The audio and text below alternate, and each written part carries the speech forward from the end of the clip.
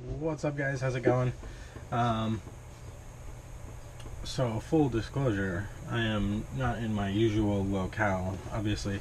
Uh, some of you guys know, before I left to go to Colorado for a couple of months, I had to move out of my place. I was living in kind of an artist community uh, in Los Angeles, and when I came back, I was planning on getting an apartment.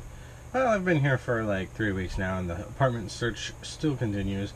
So, my friend Matt, uh, who you saw in the episode with Heather DePriest, which reminds me, I gotta talk to him about that footage, uh, kindly sublet me his super hip Airstream uh, that is actually in the back of the warehouse that I used to live in.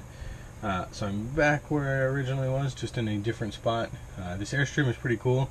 Uh, if you've been following my work for a long time, you probably saw it maybe two years ago.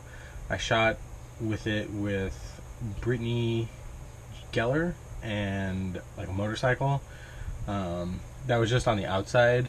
Now that I have full reign of the Airstream, I'm gonna shoot hopefully in the next week or two um, just a real uh, kind of fun hip story around you know like a travel kind of story uh, using the airstream as kind of like a set piece so super excited about that but i have a workspace but unfortunately it's in a kind of co-working area so recording video and audio there is a pain in the ass and never works out very well because there's people and it's loud and so on and so forth. But i digress. So many of you guys have asked me for more uh, photoshop capture one retouching type stuff. And i haven't done a whole lot of uh, fun shoots this week. I've had to do a bunch of paid tests which weren't necessarily the greatest for video. Um, but I did have one shoot that I unfortunately was not able to record video on, but uh, I'm super stoked on the pictures. I mentioned before that I'm kind of trying to rebrand a little bit, make my work a little bit more um, commercially viable here in Los Angeles and given the market. So I'm trying to kind of spice things up a little bit. This shoot was with a model named Ellie at Next Models here in Los Angeles, which she was amazing. I really love shooting her. Um, mark my words, that kid is going to be a star. Like I, I really do think so, um, and I don't say that very often. So, we're going to. My general workflow usually is uh, I start in Capture One, obviously with the raw footage. Capture One uses a zero to five star system, I start with the, all the zero star images, which would be all of the raws, and I'll go through and I'll just flag right off the bat all of the ones that maybe even remotely catch my eye. I'll just give them one star right off the bat. Once I've got that first kind of culling done, where I threw away any of the ones where the model might have been blinking or like not looking their her best or whatever the case may be, I throw those out. Um, and then that's when I start working on the toning usually. And then I further edit down my selects after I have done the toning. That way I can kind of see generally speaking how they're all going to look. So I'm going to go back through and retone this image and explain to you uh, as I do it what I did and why so on and so forth. So this shot was actually shot on the street right outside my studio uh, in downtown Los Angeles. And there's always a food truck outside. And so I wanted to do something a little bit fun and kind of different and out of the norm for me. So we went down there and bought Ellie a giant bright orange Fanta. And she drank it for the shot. So, um, usually when I'm working on toning and stuff like that, I uh, or retouching in general, I'm working on a 27 inch Thunderbolt display. But because I wanted to record this, I'm just working straight off of my laptop. It's not my preference as far as um, how I usually work, but it's okay for the for the purposes of showing you guys kind of the the back end. I'm totally okay with it. So this is the raw image. First thing that I'm going to do is uh, I'm going to cool it off just a little bit because we're going to end up adding in some saturation. call it like 61 10 ish. And then it's a little too too much on the tint. I'm gonna do something like that. Alright. Uh, we'll probably play around with the actual Kelvin temperature a little bit more later as I kind of get into exactly making the, the image look like what it's supposed to look like. So, working in this exposure dialog here in, in Capture um, is where I kind of do the bulk of my toning and color choice type stuff. So, going to just add a little bit of global contrast and eh, a little bit of saturation. It's probably too much.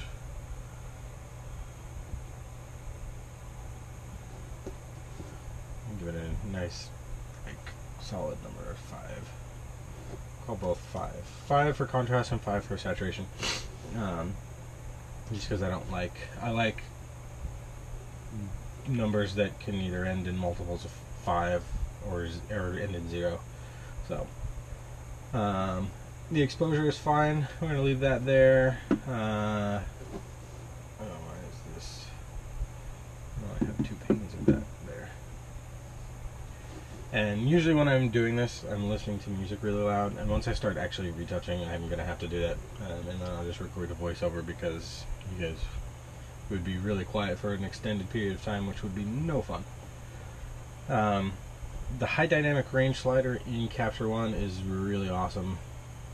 Um, and this one is fairly backlit, so I'm going to bring it kind of uh,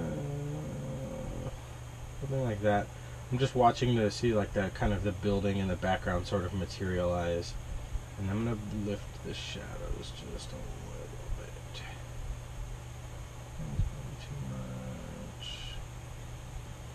something like that, just to kind of lift up some of the details in her hair and uh, stuff like that. So, so far so good.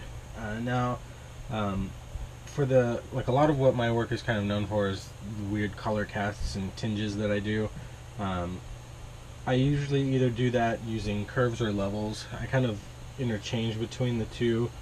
Um, they essentially do the same thing. Um, so one's not necessarily better than the other. Um, I've got levels open, so we're just going to do it in levels. So we're going to go switch over to the red channel. And we're going to bring the reds up a bit. Just on the shadow side, uh, so the top left corner of the levels graph. Now you can kind of see on all of the shadows of the image, which is a pretty good chunk of the image, there's kind of a red cast to it, which I really like. Now, blue and orange obviously look great together. Bronco Broncos. Uh, blue jeans, orange Fanta, and I'm actually going to kind of add a little bit of blue to the shadows overall. Maybe like 10 points of blue in the shadows something like that. Um, yeah, that looks pretty solid. Now, one thing that I always do on just about all of my images is a negative vignette, so like a darkened vignette. Um, I typically find that around a stop to a stop and a quarter works pretty well for most images. If you go much higher than that, it starts to like crunch into the model too much, um, which you don't want. But oops, there we go. Um, usually like a, a, a, one and a quarter or one uh, minus one, sorry, um, stop on the vignette usually works really well. Now I might bring some warmth back into this just a little bit. So the initial like I had initially cooled it down quite a bit. I'm to undo that. Kind of split the difference. It was at like 6900 I think to start. We'll call it like 65. Uh, that overall looks really good. Uh, because I've already gone through and made these as selects, I can just gonna go ahead and export this. Um, I have a process recipe for how I process my raws. You can see the settings here. Um, it just spits out a PSD nice and easy, good for retouching. So let's start actually doing some of the skin retouching on this this beast. And first things first, like I absolutely have to have music. And if you guys don't like metal, sorry, you're wrong. So. Alright, so I've said it before and I'll say it again. My general theory when it comes to retouching is it's more about removing distracting visual elements than making things look perfect or 100% clean and completely unrealistic. It's just kind of removing things that will detract from the overall visual impact of the image. So luckily with Ellie, she has really good skin. She's super young, so that definitely makes things easier. But I started by just giving her some overall skin cleanup, removing a few blemishes and things like that on the face, and, and just doing some overall cleanup. Nothing major. It's just a matter of healing and then some dodging and burning and things like that. I don't really use any super complex or overly fancy tricks or, or anything like that. I don't tend to do things like uh, frequency separation or, or anything like that, and definitely no blurring of the skin that's just something that I can't stress enough. I it looks terrible. I hate the way it looks, and it's just kind of a, a general no no. So I don't do it. Luckily for me, because of that, my retouching is usually not a very extensive process and not super time consuming. I think this picture took maybe 15 minutes. We're seeing it here sped up to 500%, and it's uh, obviously very minimal and simple. It's a lot of just little minor subtle tweaks that overall make a big impact on the image. Uh, you do see me taking out things like dark spots in the clothing, some wrinkles and stuff like that, which seem like they would make little to no difference in the overall image, but altogether when you see everything before and after, a lot of little subtle things kind of pile up to make a nice overall impact and, and a really clean overall image as I said before, with, with Ellie being young and having really good skin, it, it makes things easy. Um, people often ask me how long I spend. Um, as I said before, this image was about 15 minutes. Uh, I think for most full length fashion images, 15 to 20, 30 minutes per image is kind of like an average for me. Uh, if the model is fully clothed. Now, if she's not wearing much or not wearing anything, there's a lot more skin, so it can take longer. But overall, uh, that's kind of a good general average that I would say for, for most fashion images. For me personally, that's not to say that it's going to be the same for everybody.